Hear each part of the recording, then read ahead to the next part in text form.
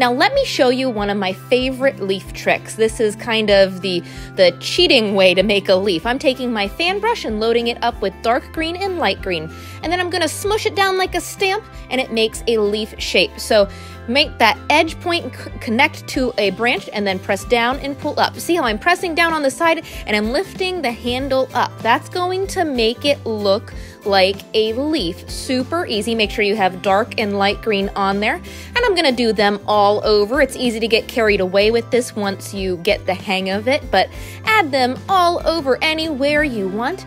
And then it, before it dries, one of my favorite tricks is I take a toothpick and I go up through the center of them. You don't need any paint on the toothpick, but if they're still wet, you'll get a vein in each of your leaves to make it look a little bit more realistic. I'm